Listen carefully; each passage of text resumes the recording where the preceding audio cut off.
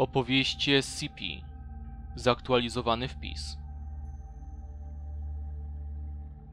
Identyfikator podmiotu SCP-173 Klasa podmiotu Euclid Specjalne czynności przechowawcze SCP-173 musi zawsze być trzymany w zamkniętym pomieszczeniu.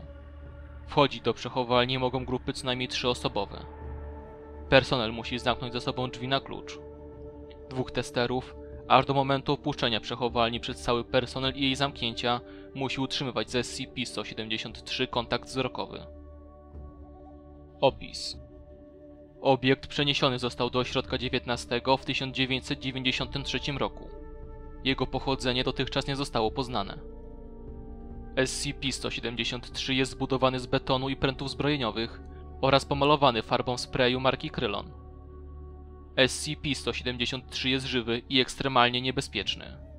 Obiekt nie może się poruszać, kiedy ktokolwiek na niego patrzy. Z obiektem zawsze należy utrzymywać kontakt wzrokowy. Członkowie personelu wpuszczani do przechowalni zawierającej SCP-173 są instruowani, by zgłaszać zanim mrugną. Ataki obiektu prowadzą do skręcenia ofierze karku u podstawy czaszki lub jej uduszenia. W przypadku ataku, personel zobligowany jest zastosować się do procedur przechowawczych dla obiektów niebezpiecznych czwartej klasy. Pracownicy zgłaszali odgłosy skrobania kamienia dochodzące z przechowalni, kiedy w środku nie było żadnego członka personelu. Dźwięki te zostały uznane za normalne, a zmiany w tych zachowaniu powinny być zgłaszane do aktualnie przebywającego na służbie nadzorcy. Czerwono-brązowa substancja wypełniająca dno pojemnika jest mieszanką odchodów i krwi. Jej pochodzenie jest nieznane. Przechowalnia musi być czyszczona co dwa tygodnie. Na co ty do cholery patrzysz? Krzyknął do drugiego pracownika klasy D znajdującego się w pomieszczeniu John Avery, obecnie znany jako D5933. SCP-173, a ty na co do cholery patrzysz? Nadeszła odpowiedź. To zaniepokoiło Johna, patrzącego się bez przerwy na SCP-173, ponieważ drugi pracownik klasy D stał za nim, zwrócony w przeciwną stronę. Następnie John usłyszał najgorszy dźwięk, jaki dowolne stworzenie ludzkie kiedykolwiek słyszało. Kichnięcie, dochodzące do odległości 15 cm za jego głową.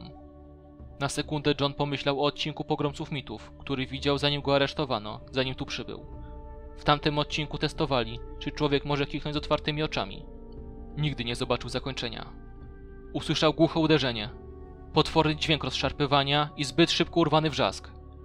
John zdołał wykrztusić tylko Kur... Dodatek pierwszy.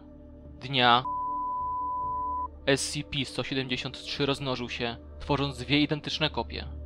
Dwóch pracowników klasy D zginęło. Nie wiadomo w jaki sposób nastąpiło to zjawisko.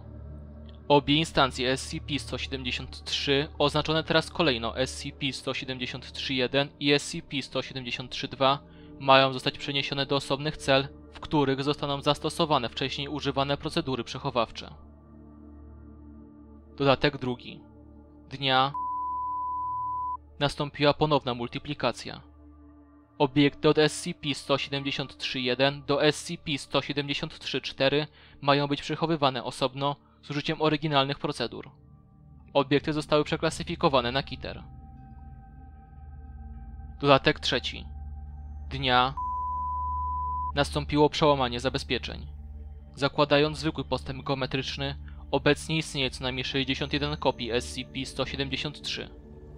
Niewiadomy jest sposób, w jaki podmioty rozmnażają się w tak szybkim tempie, a także sposób, w jaki w ogóle ulegają replikacji. Materiały wideo ukazują wiele instancji SCP-173 współpracujących ze sobą w wielu pomieszczeniach w celu przełamania zabezpieczeń.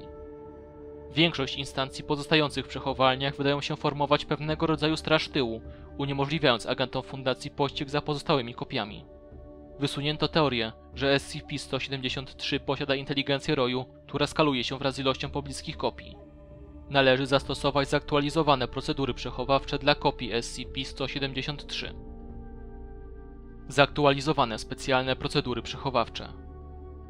Wszystkie kopie SCP-173 mają być przechowywane w odlanych na kształt metalowych pojemnikach i wysłane do opuszczonej placówki Fundacji na Księżycu przy użyciu SCP Należy także przymocować do nich obroże lokalizacyjne, które będą sprawdzać, czy żaden z obiektów nie opuścił powierzchni Księżyca. Dodatek czwarty. SCP-173 spowodował przełamanie tajności Fundacji SCP. Śmierci wśród cywilów spowodowane przez podmiot szacuje się na około 500 tysięcy w Ameryce Północnej w ciągu ostatnich 48 godzin. Obiekty zostały zauważone setki tysięcy razy. Pojawiło się także wiele nagrań, na których widać podmioty. Największe stacje telewizyjne zdobyły materiały wideo, na których widoczny jest SCP-173 i rozpromowały instrukcje, których zastosowanie ma uchronić przed natychmiastową śmiercią. Dr Phyllis, Matthew, Cliff, Gears, Kondraki, Bright jest odpowiedzialny za przechowywanie. Dodatek 5. SCP-173 otoczyły i zniszczyły cztery placówki fundacji niemal jednocześnie w ciągu ostatnich 24 godzin. Każda instancja wykazuje siłę charakterystyczną dla oryginału, a tysiące współpracujących kopii są zdolne do niszczenia betonowych bunkrów i przebijania stalowych drzwi o grubości 30 cm. Trwają badania mające na celu znalezienie sposobu na walkę z tym zagrożeniem. Osobisty log doktora Brighta. Zostałem zabity 37 razy w ciągu ostatniego tygodnia. W jakiś sposób są w stanie mnie wyczuć, niezależnie od ciała, w którym się znajdę. Główna decyzja pozostałych o pięć brzmi, że to XK i zamierzam się z tym uporać. Oni albo Rosjanie. Ewakuują tą bazę, co oznacza, że w nowym świecie nie pozostanie ani jeden naukowiec fundacji. Mówią, że spróbują ewakuować pozostałych przy życiu cywilów, ale ja w to wątpię. Obecnie w północnej Ameryce na pewno nie ma więcej niż kilkuset żywych ludzi.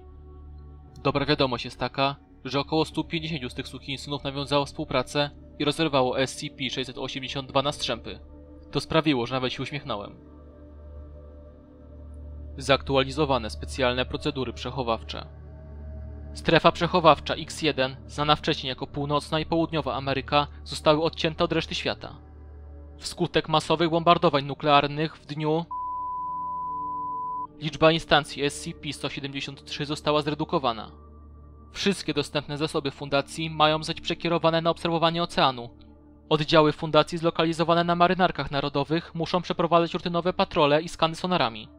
Wykryte instancje mają zostać zabezpieczone i wprowadzone do SCP w celu transportu do księżycowej strefy przechowawczej. Dodatek szósty.